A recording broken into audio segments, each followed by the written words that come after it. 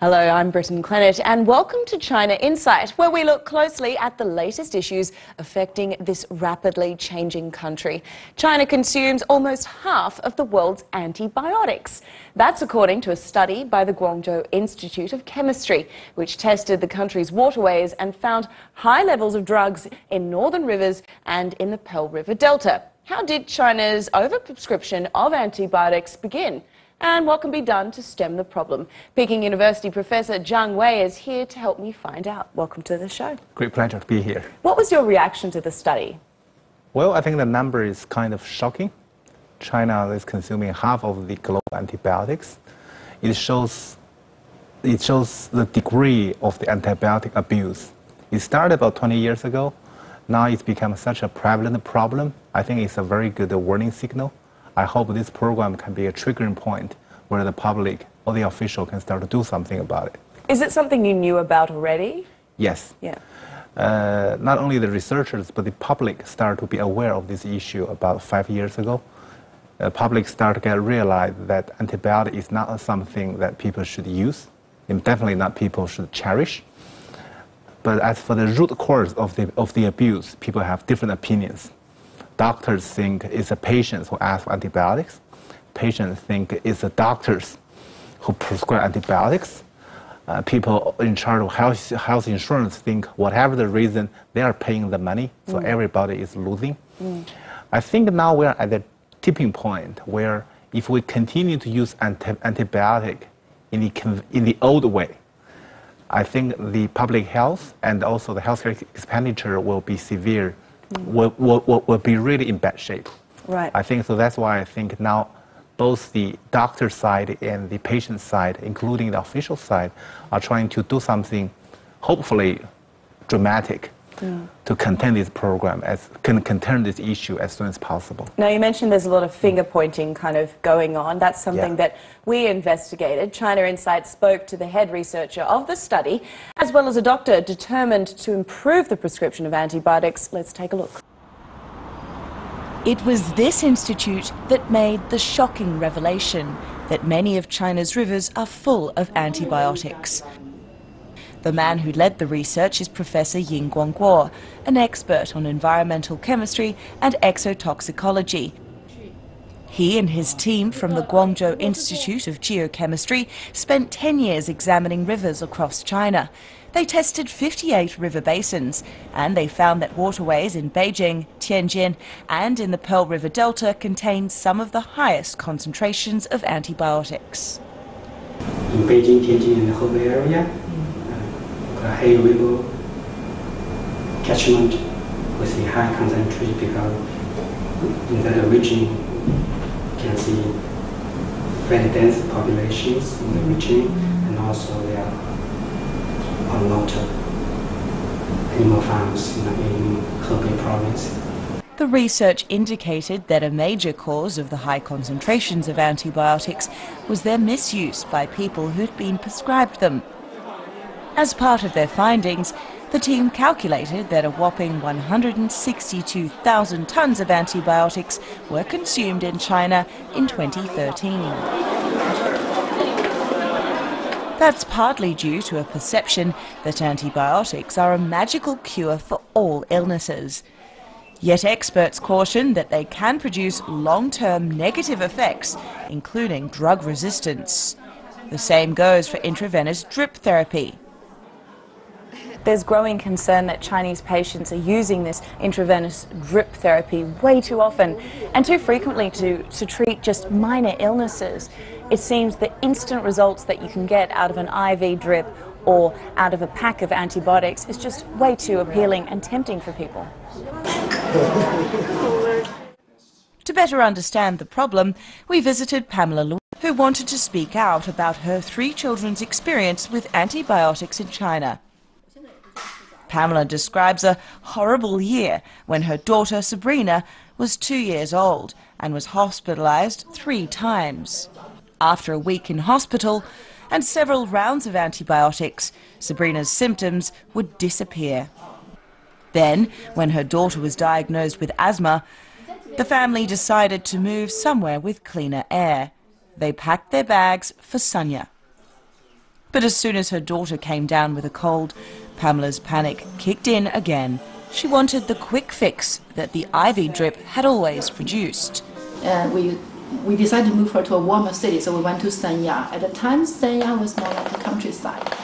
It's only have one big, one countryside hospital and only a few doctors in it. So we went to see, I still, I, I should stand for this doctor for all my life. So I went to see him and he said, oh, your kid just coughing. It's normal for a little kid. I said, well, uh, it's very hard for her to recover because we've been always have been this kind of antibiotics, everything. And he said, why, you know, it's usually two weeks, but no doctor never told me for little kid that if you have a coughing or fever, usually two weeks to recover. And he said, only two weeks, just wait. I said, no, I'm kind of worried. I begged him to give her antibiotics, and she was he was going to prescribe something. I said, no, no, no, we're always on the drips, and it works faster. I want that for my daughter. After just three days, Sabrina had recovered. The far lower to had worked. It made Pamela realise that she'd effectively been giving her daughter an antibiotics overdose. After three or four years old, after a while, she we get I get so against antibiotics every time I went to see a doctor, if they say something like that, I say no, no, no, no, no. So then we will usually will check uh, we'll check the blood. We'll ask for the blood check.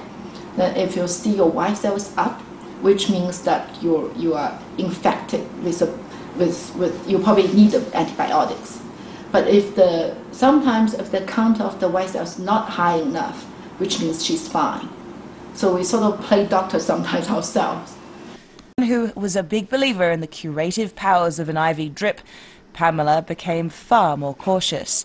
Having built up a mistrust of doctors, she took to educating herself.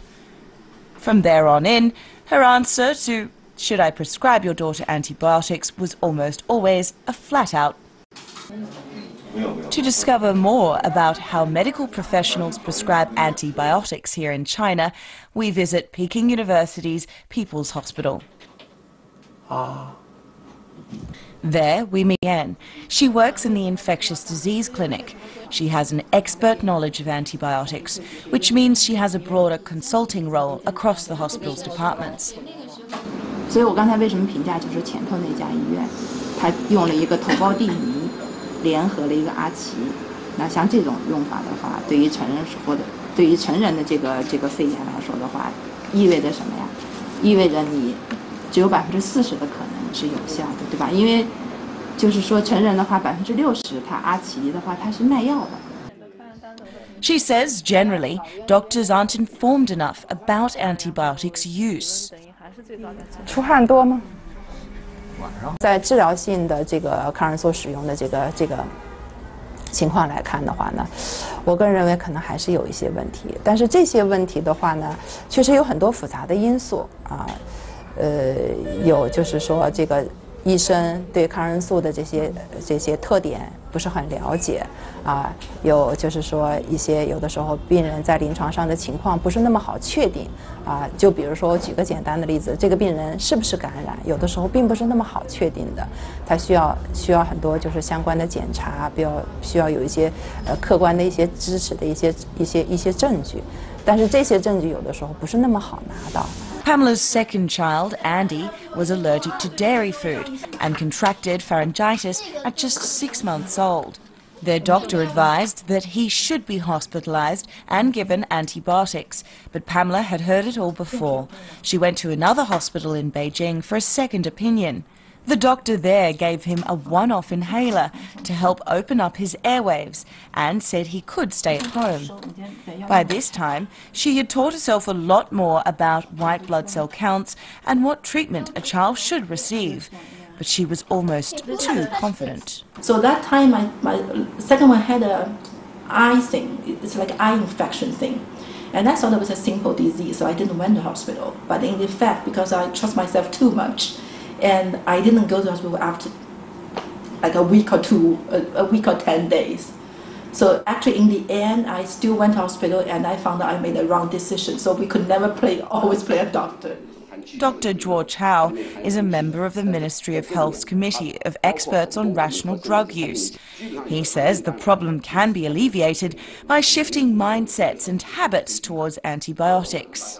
一个呢，就是我们中国老百姓传统的观念， 就说他要我要抗菌药物，我要要去买药，就什么生了什么病，我都想要用抗生素。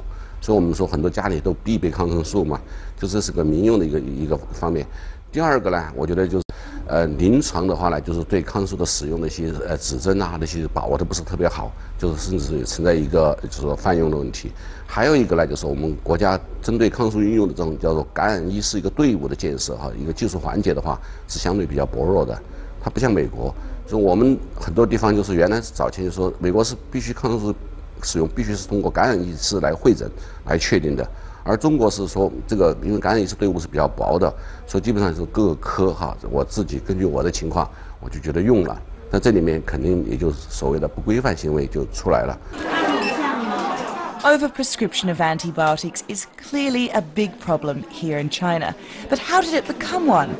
How is it that Chinese people turn so quickly to antibiotics as the cure for all illnesses?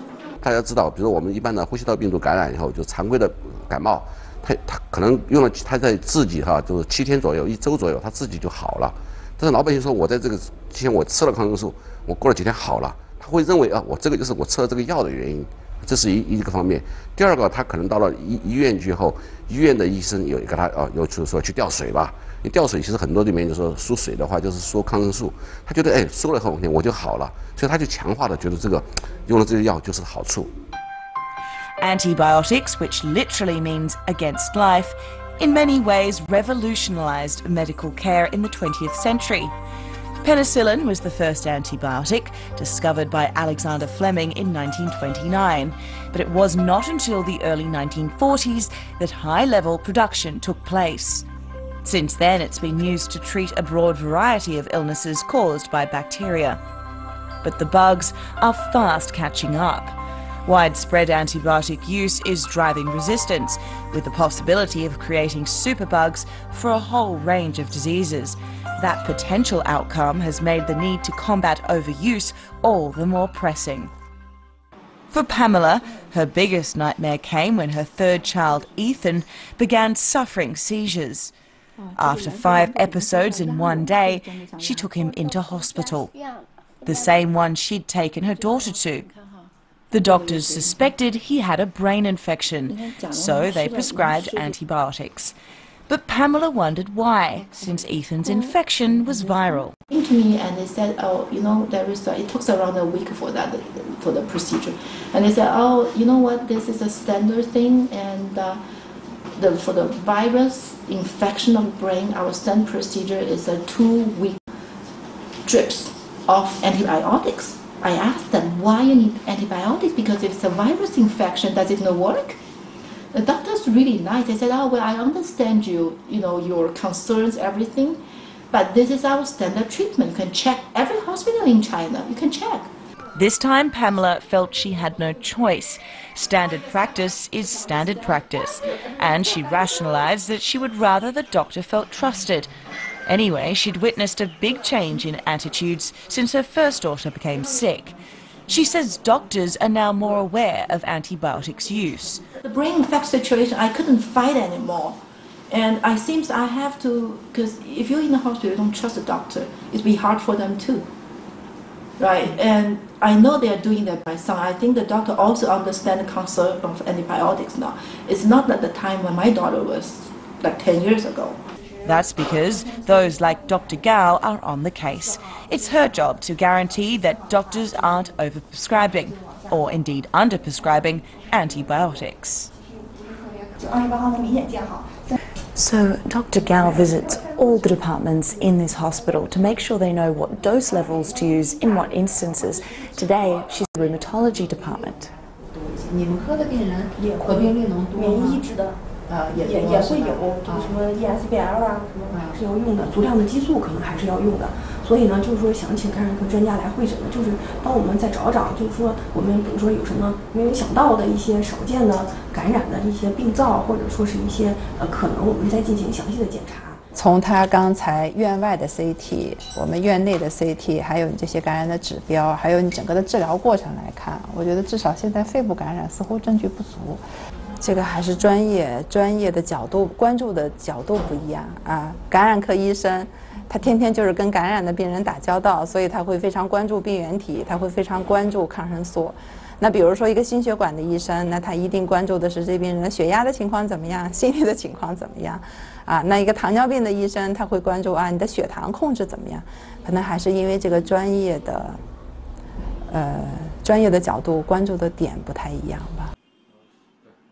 A key part of the medical reform taking part in China right now is improving the management of medication. The China Antimicrobial Resistance Surveillance System was established in 2005 to help tackle the problem.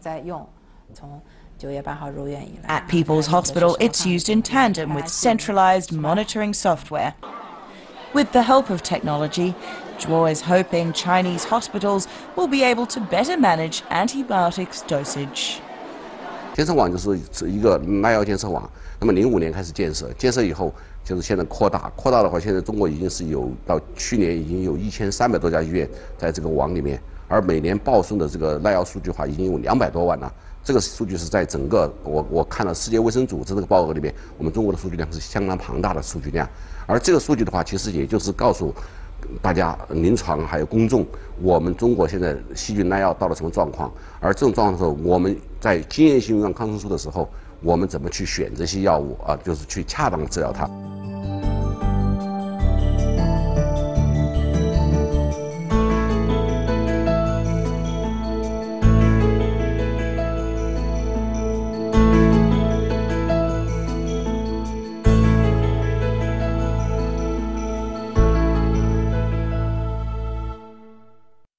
Touched in that video, we touched on uh, the quick fix, the temptation mm -hmm. to grab a pack of antibiotics and you know be, be better in a few days. Why does that exist? Is it because doctors are pushing it? Is it because of pharmaceutical companies? Is it because patients are just too used to it? I think everyone has a role in this problem. Let's start from doctors. I think doctors are at the, very, at the very front line because without their prescription, the antibiotics will never reach the patients. And for Chinese doctors, uh, given their miserable pay in the public hospital, it is understandable that public hospital and the doctors in public hospital would like to seek more opportunity of revenue generation. This is why we see many drug abuse in China. And antibiotics is probably the one of the area with the severest problems. The problem is really severe. So doctors, they are the front line. As we mentioned in the video, when the doctors are aware of this problem, they were taking some actions. Mm. But my concern is the doctors that we see in the video are top doctors in China. Mm. What about the majority of doctors who who do not have access to specialists. Well, that's right. There's not a, a mm. Dr. Gao in every in every hospital, and this is something that you mm. and I have touched on in other other shows before. Mm. The fact that uh, doctors need more training -hmm. available to them, so that, for instance, they know the exact prescription, the about, uh, exact dosage -hmm. of, of antibiotics. Last year, I was very lucky to run a research with the Chinese Physician Association. We ran research targeting antibiotic abuse at the county level hospital. The result was amazing. After three months of intervention, the antibiotic use at the county level was reduced by 25%. Actually, our intervention was very simple. We give rural doctors standard clinical guideline. We specifically tell them, if this is diagnosis, do this. Mm. Otherwise, you will not be reimbursed. Very standard, simple introduction of clinical standard. So only over three months, we see a reduction of 25% of antibiotic use. Mm. So my point here is, for top doctors in large hospital, they can make decisions on their own or through consultation, like you see on the video. But for majority of doctors in, in the majority of China, where probably they have to rely on new technology like telemedicine or an app where standard procedure, standard guideline, or even a warning system mm. where antibiotic abuse will jump out saying this is not the way to do. Mm. I think and this is where the role of technology can help. Exactly. I think, I think doctors have their own concerns. Doctors need time to improve themselves. But meanwhile, I, I believe technology and innovation based on this standard care mm. can be a, can facilitate this change. Mm. Well, you mentioned what the doctors can do. What can the mm. patients do? Well, for patient, this is, let's come back to my research. Three years ago, I published research in a top journal. We, we use simulated patients, actors. We prep them for standard case of flu. They are simulated flu patients. We send them to large hospital in China just to observe the chance of their getting antibiotics. What we did you put find? them we put them into two groups. One is conventional patients, just the one you see on the TV. The other is what I call the patients of internet era. This group just say one thing. They, when the, after the discussion with the doctor, they will say something like, "Doc, I learned from the internet that flu mm. patients do not need antibiotics." And I have a lot of doctor friends, and it drives them crazy when they hear that. Here's the result. It was published in the top journal, uh, Health Economics, a top international journal. And the result is antibiotic prescription was dropped by 25%. Mm. But meanwhile, patient satisfaction, patient satisfaction was also dropped. What, I, what we observe in the studies, when the doctors realized the patient had this knowledge, doctors become less communicative. They tend to be silent. They, give, they are more likely to give appropriate prescription, but they are more likely to be silent. So what does that mean? Well, there are many ways to interpret this. My way interpret in my research is Chinese patients are ready to welcome the knowledge from internet. Chinese doctors are not yet. But there's too much information on the internet. Surely you need an authoritative voice who has yeah. done their six years of medical school mm-hmm. and, uh, and knows exactly what they're talking about and what to prescribe. Exactly. This is why I think, you know, once this, this I mean, this is, this, for this problem, I think it's about where we start. Mm. If we start with flu patients, ask whether it's viral, what's the temperature, the white blood cell count. You know, flu is a disease which does not require antibiotic. Mm. Second is children. Mm. You know, Chinese parents love their children as parents all over the world. So in some region in our research, we just put a sign in the clinic saying, if your kid is under age of 12, be cautious when you ask for antibiotics.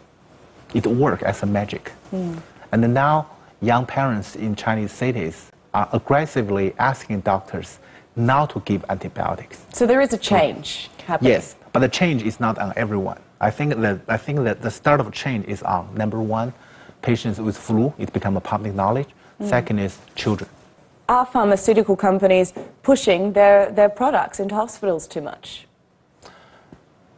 I think that's a pharmaceutical company are doing their job in promoting their product. But they have a responsibility as well.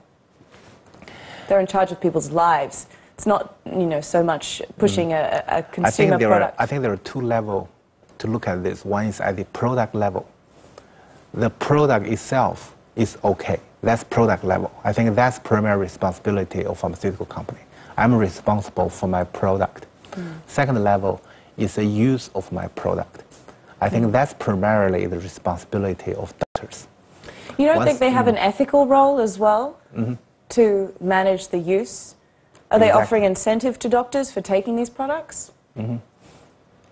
Uh, I wouldn't call that the incentive. I think a stronger incentive probably for doctor is to number one to cure to help the patients. Number two is to get reimbursed from the health insurance institution. Mm. For pharmaceutical company, I think they are in a dilemma. Number one, they have lots of what I call me too. It's innovative, but it's me too means they're not that much different from the other antibiotics. So the market is really red ocean. Mm. But the sink cost R&D is already there. So mm. they are kind of trapped.